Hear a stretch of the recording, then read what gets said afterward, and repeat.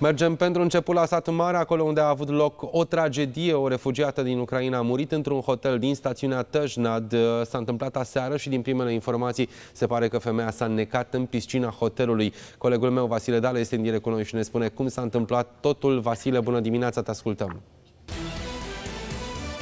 Bună dimineața tuturor! Femeia în vârstă de 56 de ani a fost uh, găsită în piscina interioară a hotelului din Tășnat de mai mulți aparținători.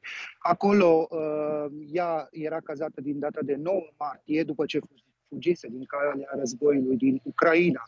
Uh, aseară ea a mers la piscină, dar cel mai probabil din cauza unor afecțiuni medicale, acestea i s-a făcut rău și a căzut în apa respectivă. Femeia a fost scoasă și a fost, chema, au fost chemate echipajele de intervenție, un echipaj al ambulanței și un echipaj smurd au resuscitat-o aproximativ 45 de minute. Din păcate, medicii au fost nevoiți să declare decesul uh, femeii.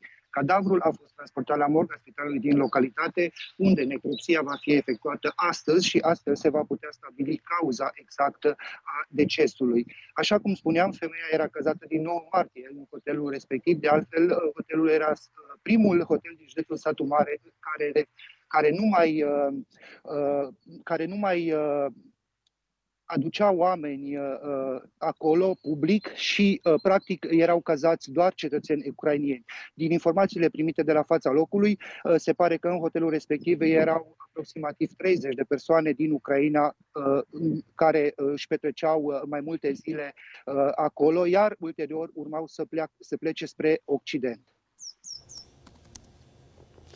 Mulțumim foarte mult, Vasile, pentru toate aceste informații.